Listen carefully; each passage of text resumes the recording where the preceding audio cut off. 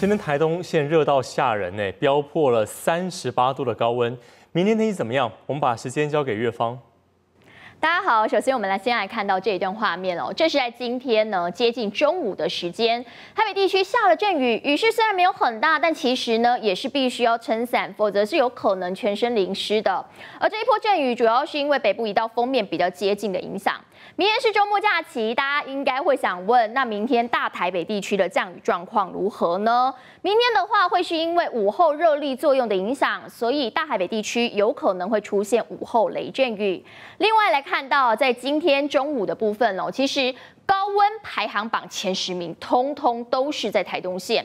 而其中台东县太马里乡是飙到了三十八点九度，而台东县的卑南乡呢也有三十七点三度，台东县的金峰乡也一度出现三十七度的高温，主要也是受到了西南风沉降的影响，真的是很热。但是要提醒您哦，明天的台东一样要注意高温了。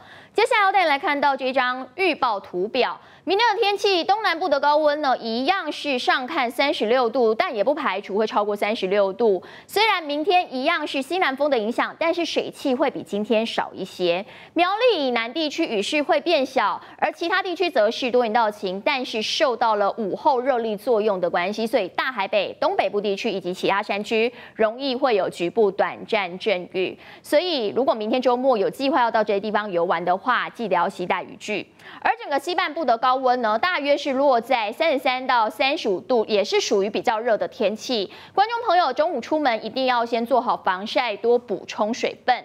由于明天是周末，所以我也帮大家整理了知名景点的天气概况哦。像是台北的阳明山是阴时多云的天气形态，气温大约是二四到二十八度；而南投的日月潭阴时多云，但可能会出现短暂雷阵雨，高温大约二十九度左右。位于嘉义的阿里山跟日月潭的天气形态比较类似一些，也有短暂雷阵雨的几率，但气温会比较低，落在十四到二十度左右。另外，南台湾的垦丁则是多云时阴的天气，高温上看三十一度。至于未来一周的降雨趋势，星期日会转吹偏南风，所以呢，中南部的水汽会更少。但是清晨到上午这一段时间，中南部会有局部短暂阵雨的几率，而其他地区呢，其实天气都还不错。错，但是在中午过后，北部、东北部地区以及其他山区也可能会出现局部短暂雷阵雨。等到下周二到下周一，下下周二呢，各地的天气又更好了。但是清晨到上午呢，中南部仍然会有零星短暂雨，而各地则是要注意午后雷阵雨。下周三跟下周四，各地大多都是多云到晴，但午后也有局部短暂雷阵雨的几率。最后，我们一起再来看到明天各个地区的天气概况。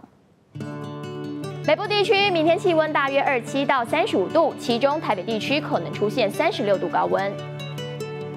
中部明天一样有降雨几率，但雨势会比今天小一些。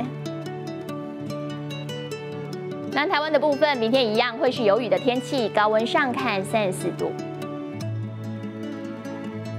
明天东北部注意午后雷阵雨，台东则是留意焚风高温现象。外岛三的地区，明天气温大约二十五到三十一度，其中马祖的降雨几率偏高。以上是这一节天气资讯，提供给您，也祝你周末假期愉快。立刻下载金新闻 App，一手掌握新闻时事，尽善尽美，尽好新闻。